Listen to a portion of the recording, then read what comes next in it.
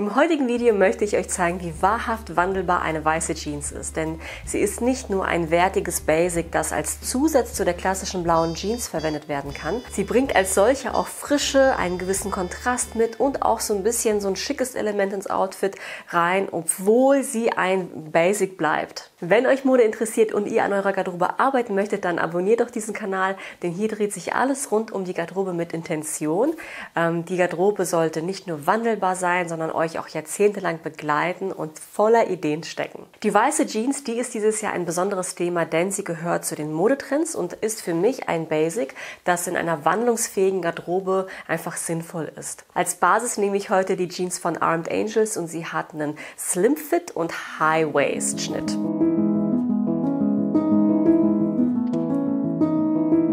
Im ersten Outfit möchte ich gerne in die praktisch minimalistische Richtung gehen und kombiniere die weiße Jeans zu einem äh, Pulli mit angeschnittenen Ärmeln. Die weiße Jeans, die kommt mit ihrer hellen Farbe in den Vordergrund und der dunkle Pullover, der rückt damit in den Hintergrund.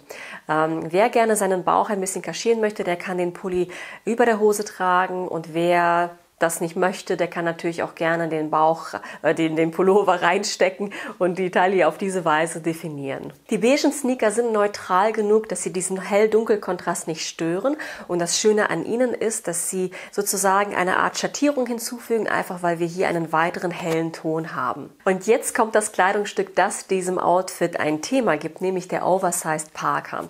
Hier in der Größe S ist mir das Teil immer noch ein bisschen zu groß. Allerdings fand ich es spannend genug, dass ich es doch in diesem Video einarbeiten wollte. Der Stoff, der knistert ein bisschen und ist festgearbeitet und der Parker ist wind- und wetterfest ähm, geplant. Und immer wenn man ein Kleidungsstück hat, das in diese Richtung geplant ist, finde ich es essentiell, dass man Weite hat, dass man eine große Kapuze hat, denn auf diese Weise ist man am meisten der Witterung, ähm, vor der vor rauer Witterung geschützt.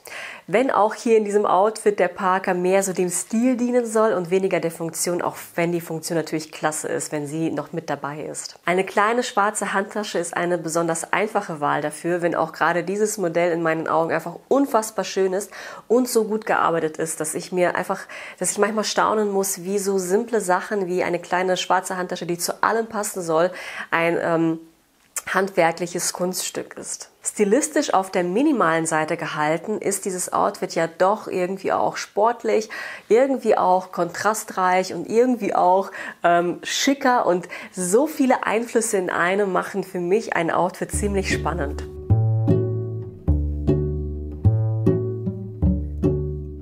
Zweiten Outfit wollte ich ganz gerne in die sommerliche Richtung nachdenken, jedoch mehr auf der schicken Seite bleiben.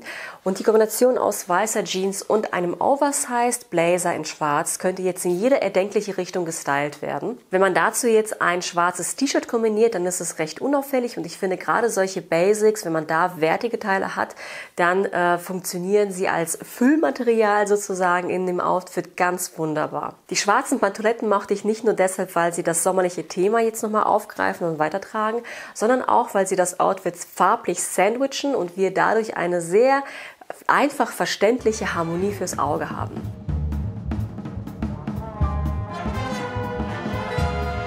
Im nächsten Outfit habe ich Lackschuhe kombiniert und dadurch ein Element hinzugefügt, was in meinen Augen wirklich etwas totschickes ist.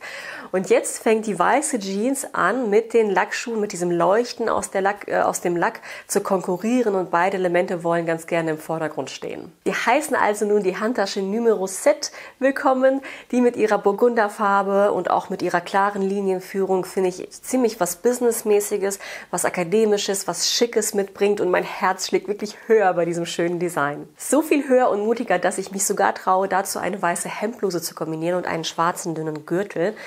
Ähm, die Weite des Hemdes, die dröselt das Ganze noch ein bisschen auf und die bringt ein bisschen was Luftiges ins Outfit rein. Und wir haben ein bekanntes, sehr bequemes Basic, nämlich die weiße Jeans, nun auf eine Art und Weise gestylt, dass es einen völlig neuen und anderen Charakter bekommt. Wer Mode liebt und sich nun gerne tiefer mit seiner eigenen Garderobe auseinandersetzen möchte, der ist in meinem Online-Kurs Stilmagie sehr herzlich willkommen.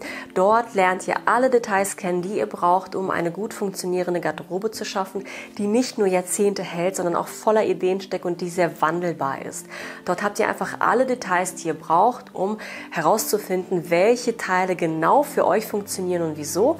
Und den Link zu dem Kurs, den findet ihr unten in der Infobox. Ähm, und ich würde mich natürlich auch sehr, sehr, sehr freuen, wenn ihr mir unten auch in den Kommentaren reinschreibt, welche Basics ich als nächstes behandeln soll und welche Fragen ihr bezüglich Mode sonst noch so habt. Ansonsten Dankeschön fürs Zuschauen und bis zum nächsten Mal. Ciao.